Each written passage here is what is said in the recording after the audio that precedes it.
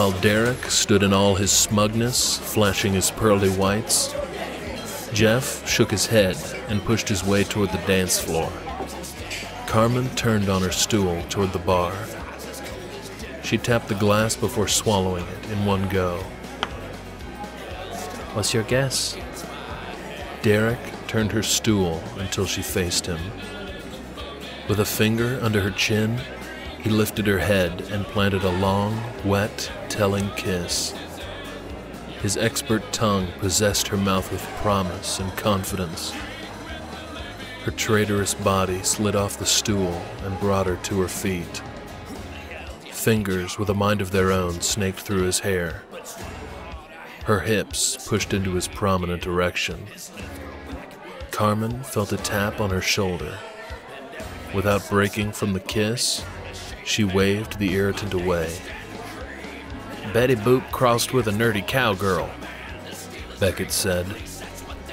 Fuck.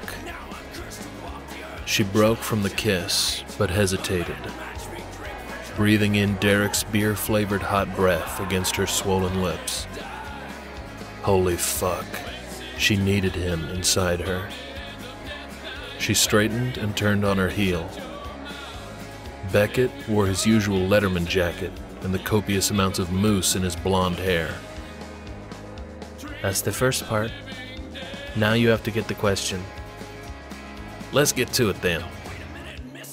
First female cartoon character not to show interest in any of the male characters. Frowning, Beckett's shoulders slumped. Carmen couldn't keep from smiling. As she opened her mouth to tell him to fuck off, his eyes lit up. Wilma Flintstone. She was married to Fred, you dumbass. I know lots of people who have no interest in their significant other. She dropped her head, knocking her glasses off her nose and clear to the floor.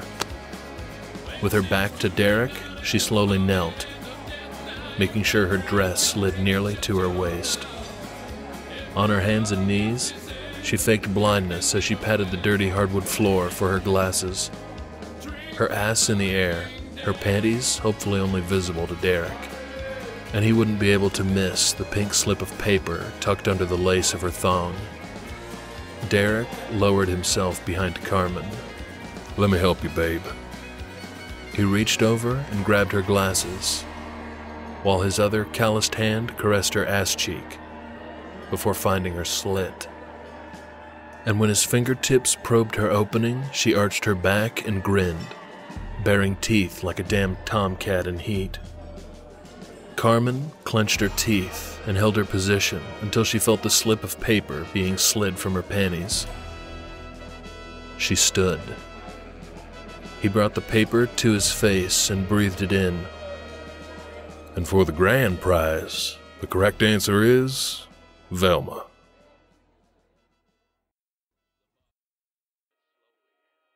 Jesus. Still sitting on the floor, Amy palmed her head. Cinder. Jesus. Cinder. Jesus. I am Cinder. Y- yes, you are. She glanced at the cracked mirror, but the grotesque image had vanished. Cinder waved his hands around her as if outlining an invisible silhouette. Something dire has shifted your karmic emanations. Even as I stood at my post outside this edifice, the vibes beckoned my immediate attention. A monster. With a shaky finger, she pointed. In that mirror. Indeed. Cinder took her hand and helped her to her feet. His hand felt cold, very cold, unnaturally cold. She clapped a hand over her gaped mouth.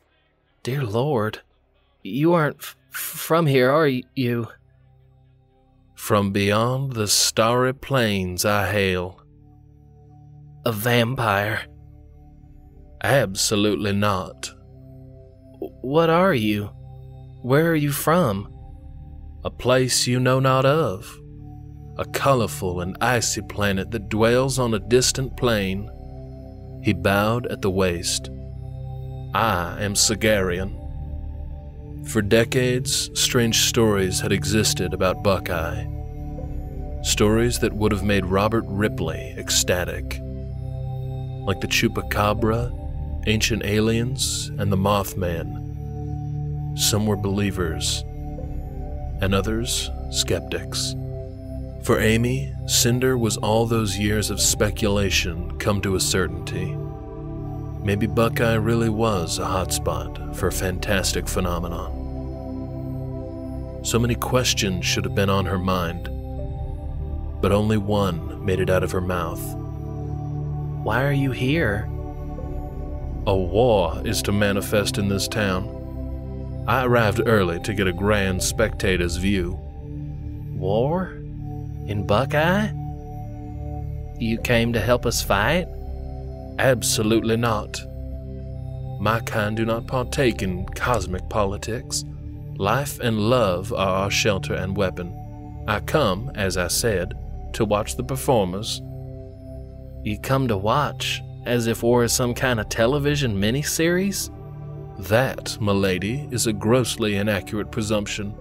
This war will be much more marvelous than any magic television can cast. Cinder bent at the waist and turned to leave. Where are you going? The night is still young, and the wine calls forth my name. May your karma be realigned by dawn.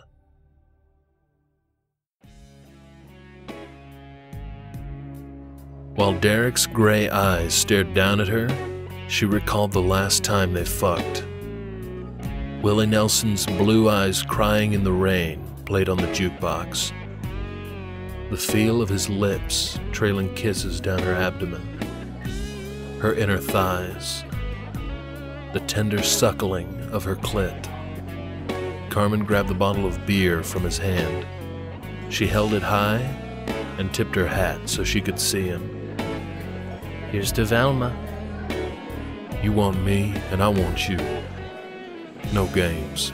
Not tonight. What's the matter? You got the question right. Because you gave me the answer. She looked over Derek's shoulder toward the restroom. Was Amy bathing in the damn sink? Derek leaned down, his lips close to hers. This may be a dance floor, and we may be dancing, but I don't dance. Not for anyone not even you. With a beer bottle in one hand, she pushed at his shoulder with the other. Fuck you. His body stilled as his hand gripped her face. We're fucking tonight, but not because I know shit about Velma.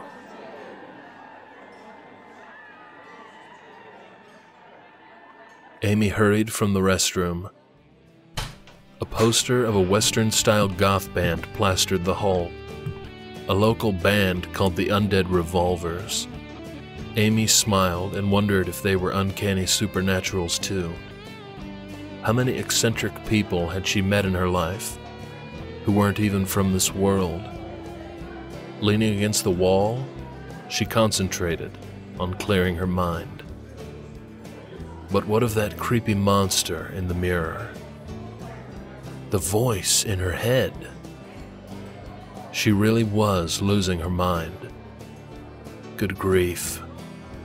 But that mirror was cracked. No denying that. Not only had she met some sort of alien, but he had warned, or rather raved, about an interstellar war. A war claiming Buckeye, Texas as ground zero.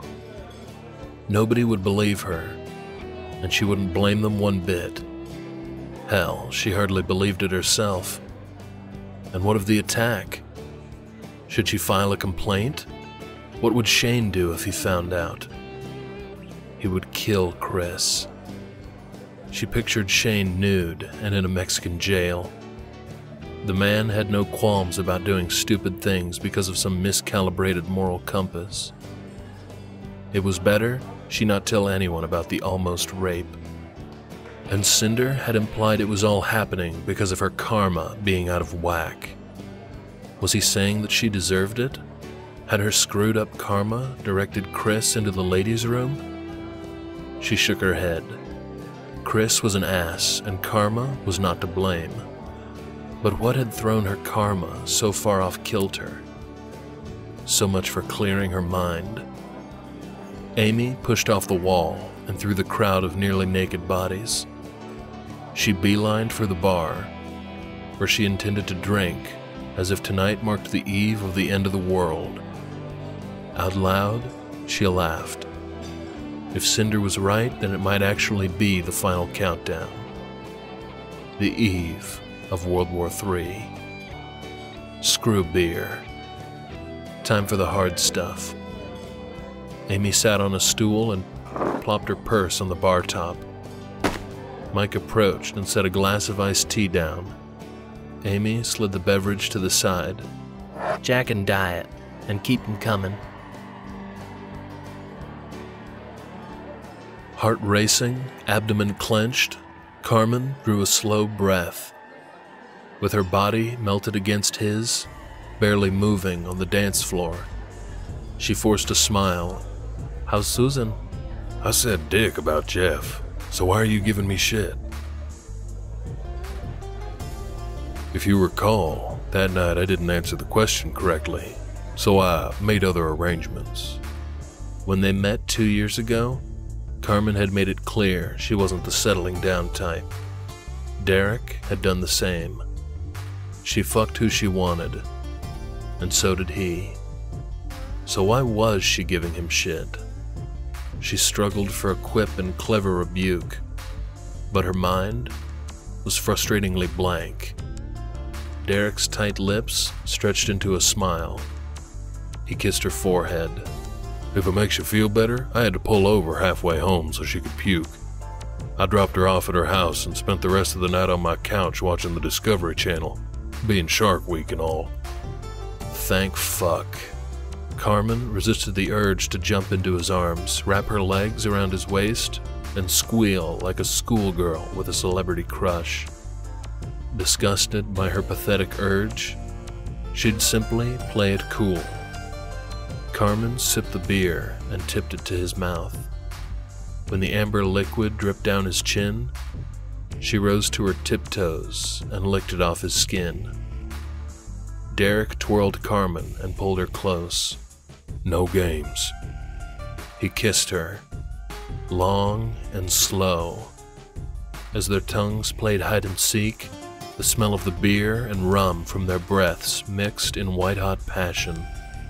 Moisture dripped down her inner thighs. There were good fucks, there were bad fucks, and there was Derek. He was the only man she slept with who not only respected her, but knew where he stood in her world. Derek knew she would never love him, not like a woman should love her man. But she also knew he'd never love her. They redefined friends with benefits. Let's get out of here. With an arm around her waist, he held her tight against him. With his other hand, he held the bottle of beer. Derek looked up at the stage where the mechanical bull waited. I was gonna ride Sickum tonight. He sipped his beer and looked down at her, eyes heavy with promise. But I can last a lot longer than eight seconds on you.